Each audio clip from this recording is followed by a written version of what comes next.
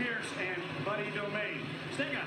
Spent some time talking to Buddy Domain last night. He won two races. Get this, guys. Back in 1982, he won at Baton Rouge over Darrell Gwynn, and then at Fremont over the late Bill Barney. But here's something I really like.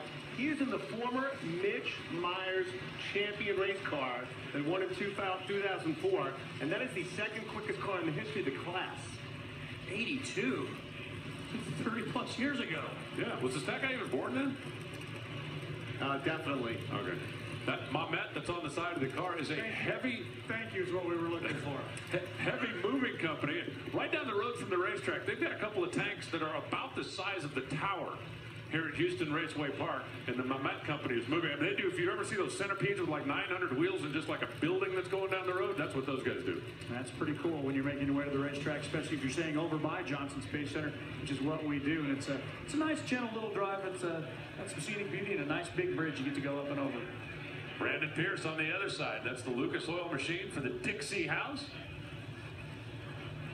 Brandon, who comes to us from the number six qualifying position. Buddy was number 14, and he was one of those hole shot winners we talked about at the top of the show. He may need another hole shot if he wants to get around Brandon here. Well, he got it.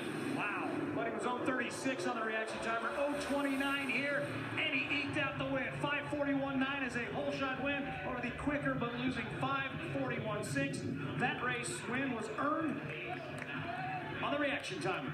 Buddy Domain goes hole shots two for two. And again, all of the cars struggling with keeping the cylinders lit. The humidity with the injected nitro cars, I think, is a little bit more of a tuning headache than the supercharged alcohol machines. As they get down the racetrack, more and more water forced into the scoop. And it's just going to start putting cylinders out. Look at those wet pipes closing in on the finish line. Terrific side-by-side race. Better with your Buddy Domain because he was on time standing on the gas. And sliding, but the reaction at the starting line pretty much says it all.